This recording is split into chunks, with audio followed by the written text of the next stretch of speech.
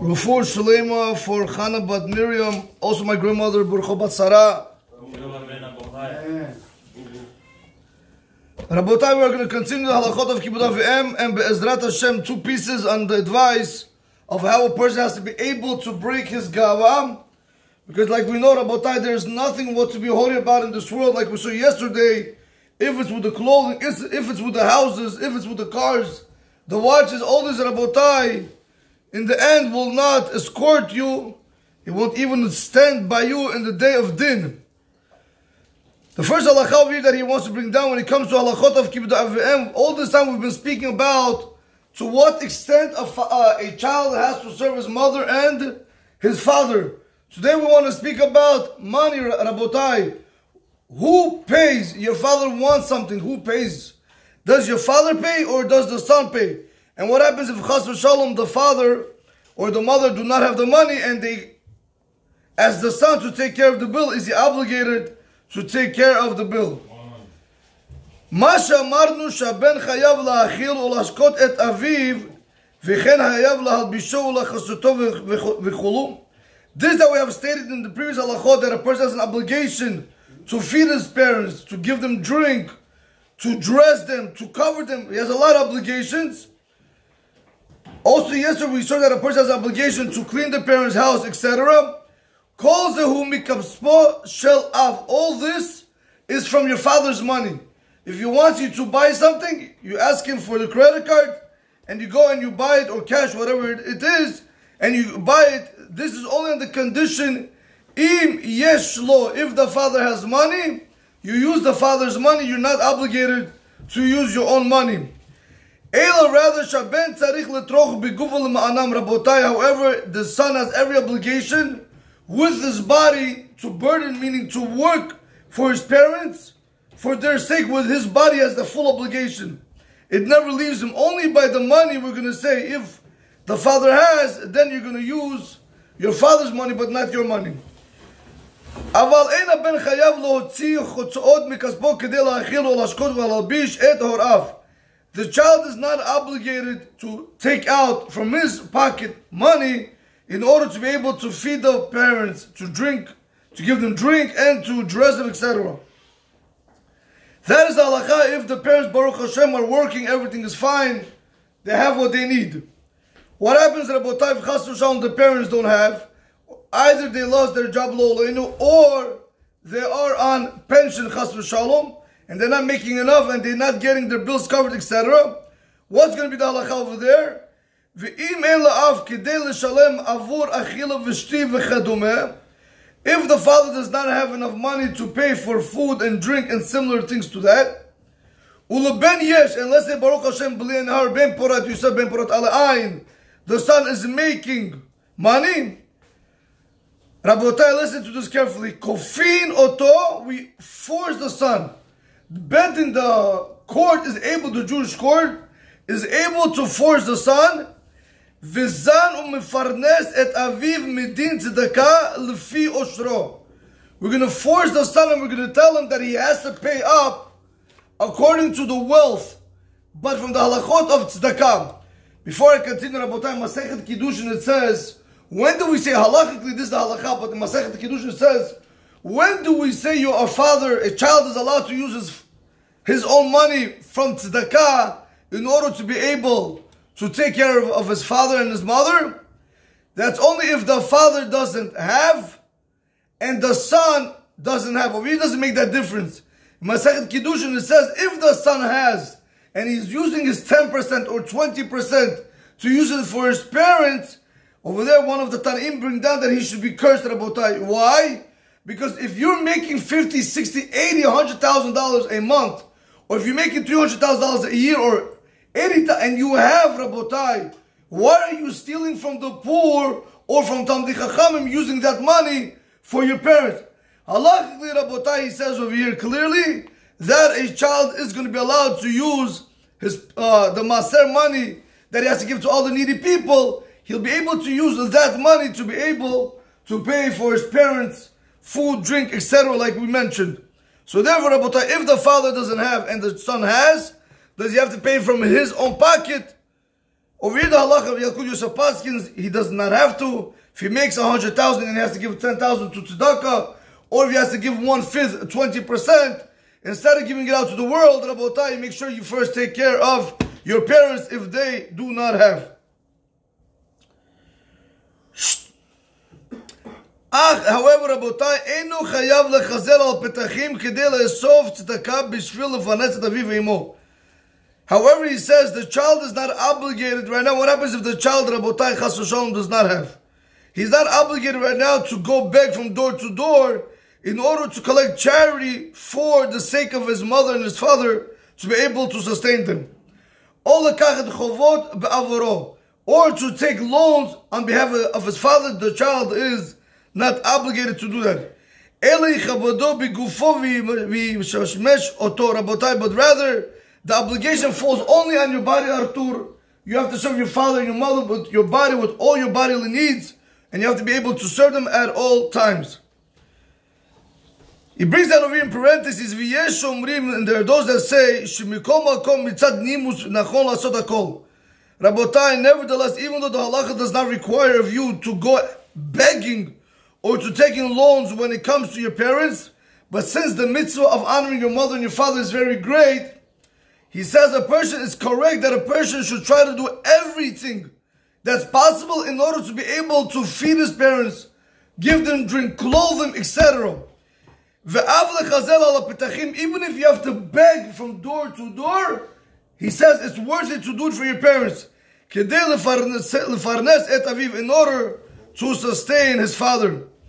He says. If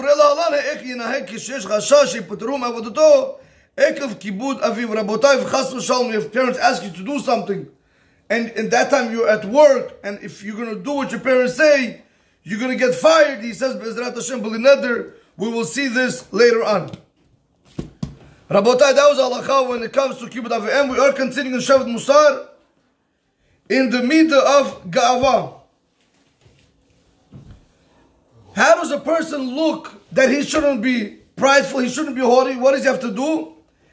He says, Shalishit, a person, the third thing a person should do, besides what we said yesterday, that a person should look at the clothing, the, the bricks, the metal that he's putting on himself, that he's honoring himself, Rabotai, when you're doing that, you're making these things much more better and much more important than you.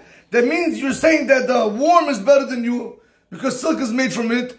That a sheep is better than you because wool is made from it. That plants are better than you which have no speech, nothing. They don't even have life, Rabotai, are better than you. And metal and rocks and all these things that we glorify ourselves with, all this Rabotai is stuyot, you're wasting your time. So that's he says, you have to remember, Rabotai, we're in this world, not to chas shalom build our honor. Ah, Rabbi, why are we in this world? We're in this world only for one reason, and that's to build the honor of Hashem. We have to give honor to the person that it belongs to, and that is HaKadosh Baruch Hu, and not ourselves. So he says over here, the third rule is like this, Rabotai, sim neged you should put before your eyes. שלא תעמוד ביופייך ובכוחך כל הימים אשר אתה חי על אדמה. רבותיי, do not live based off, do not be haughty, do not be prideful because of your beauty and because of your strength as long as you are alive in this world. Why? Listen to this carefully. When the days of old, when you're going to become old, Rabotai, Lo tuchal lenohog darkei geut. You're not going to be able to be any more holy. Impossible. והייתה צחוק לו כל מקריך באומרם, הזה האיש המשתבח, איך נפל ונשבר והיה לקש. Rabotai, do you know the problem is when a person is young, he has, he has everything, correct? But when he starts hitting 60, 70, 80, he becomes old. His skin wrinkles, he can no longer do whatever he wants to do. He can't eat as much as he wants. He can't sleep as much as he wants. Rabotai, a person at one point in his life, he was showing off. I have everything. The same people, when they're going to realize you when you're going to be old, you're going to be laughing stock. Why? Because why aren't you showing off now? Why aren't you driving your Bentley at 80 miles an hour now? Why aren't you doing the things that you, where's your, where's your house that you built? The big house. When you're walking like this and nobody's showing you honor. Where is it, Rabotai? Do not honor yourself with your beauty and with your houses and everything else time with your strength. Because in the end of days, everything is going to be taken away from you and going to have no control over it. That's what Rabotai, women, Rabotai, should know very much. Also today, boys, unfortunately, you know the way we act, the way we dress, the way we talk to adults, we have no more respect. Rabotai, girls today, the way they dress, they want to show off their skin. Rabotai Hashem Yirachem, this skin, the way it's gonna age, at the at the at the speed that it's gonna age, it's not gonna be funny. With all the Botox, Schmotox, Coltox, I don't know what they do, Rabotai. In the end, it will not help you. When the time comes that Rabotai person gets old, they're gonna say, was this the girl that was at one point beautiful walking around in her mini skirt and today she could barely even walk. She has a wheelchair on, skin with a wrinkled. Rabotai, the skin was not given for other men. The skin was given for her husband alone. Her beauty is for her husband and nobody else. And this is what women need to understand. When they're showing off their skin, Rabotai, there it's Isur Doraita that they're causing every single second when they have other men looking at them. And remember, Rabotai, speak to your wives, educate your wives about the importance of not dressing up like that. Rabotai, one more point over here brings, brings down not to be haughty. Chashev b'datech, Rabotai, think in your mind, shedarkecha kabehema, Rabotai, your ways are like an animal. B'sha'ah she'ata tzarich le'nekavecha, when the time when you need to use your bowels, when you have to make number one, number two, you behave like an animal. What's there to be prideful, Artur? What are you? What are we priding ourselves about today? וגובה מהפך כל פרי טוב הרך והגון לזבל ולצרחון. a body that takes everything that Rabotai and in the end it makes it into excrement. So was there to be happy about? Arab, was there to be happy about already? Shh. Uh, is there a place for such a person that behaves like an animal? Because Rabotai, the way we eat, sometimes we eat like animals. Well, the way we are with our wives, we behave like animals. The way we make number one, number two, we're like animals. So what, what are we prideful? These animals are better than you. If they want, they'll eat your life in a second. Rabotai, that's why Rabbi Walken Shlita, the father used to always tell me, when I was just becoming about Teshuvah, a lot of people, they look at the outside world, Artur, a lot of people look at the outside world, and they're very, they're very amazed by what's going on. This one is building a building, this one's building a house, this one is building a car, he's building this. Everybody's amazed. This one is putting diamonds on his watch. This one is making, eating in the smokes bar from morning till night. You know, he's eating. My father one time told me there, there was a guy, it was unbelievable. There was a guy who was in a, in a restaurant, so he has, listen to, he has smokes bar. After you finish smokes bar, you have the main meal. After you have the main meal, you have the dessert table. Ilan. And then after the second, after the dessert, you have plov, the Shabbat brachot, whatever they have, right? Ah, Yaishki, thank you, Marik John. Do you know what, Artur, listen to this carefully. So they, they, they took out chorovok. You know chorovok? Whatever this thing, people like to say. Delicatessen. Sure, this guy, he filled himself so much, he really didn't know what to do. Because chorovok, but he really wanted, he didn't know what to do. He had to go to the bath, he put his finger inside his mouth, he threw up just to eat chorovok. That's how low we are, Rabotai. We're living in this life, in this world, just to eat, Rabotai. We're not living. You know, some people eat to live, some people live to eat. Rabotai, I'm telling you, Rabbi Walker told me beautiful Pishat. Do not look at these people, you know why? In the end, all the money that they pump into their body with all the expensive food, in the end, food is going to one place. Everybody's is going to one place. Toilet. You flush it down and Shabbat Shalom.